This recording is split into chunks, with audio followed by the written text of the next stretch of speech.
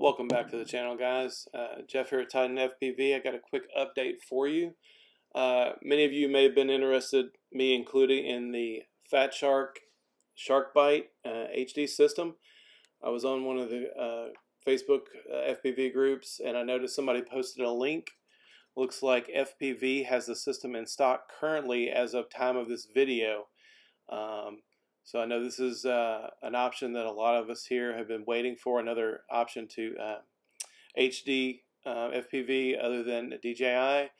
Uh, I have the uh, Fat Shark HDO2s, so this would be a, a, you know a good option for me rather than to have to go out and buy a completely new system. And I can always use my um, Fusion module, TBS Fusion module as well to run analog.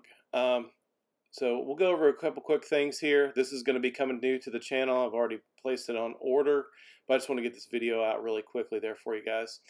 So the system looks like it includes the uh, DVR, uh, the uh,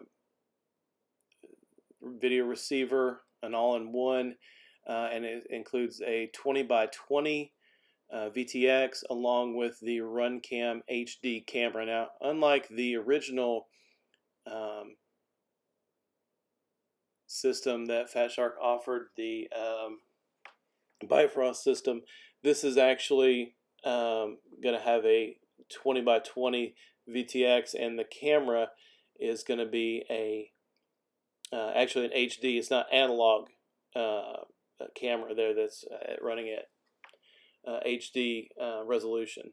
So this is going to be a 720 uh, 660 FPS system there. Um, it's going to have a built-in uh, DVR with the uh, receiver there. So um, really excited. And another guy posted a video earlier, I noticed today, of a Whoop VTX that's coming. So uh, the Whoop VTX is, I believe, only going to do up to 300 milliwatts. Um, the 20 by 20 that's included in this system is going to be um, 500 milliwatts. Uh, you should be able to fly this along with your analog friends. So uh, they're doubting or, or boasting uh, compatibility there with um, analog existing systems. So this will be coming to the channel soon, guys. I'll probably be putting this in a 5-inch build. I've got a uh, Armattan uh, Rooster build. So instead of going with the analog, I'm going to put this system in there. And then, of course, we'll have some Whoop and Toothpick builds with this as those uh, VTX drop later. Now, uh, as it is now, it's kind of an all-in-one system.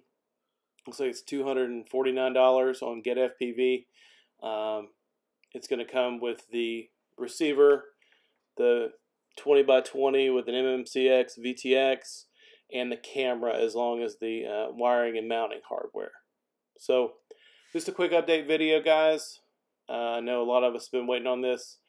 I want to thank you again for checking in there, and we'll catch you in the next one.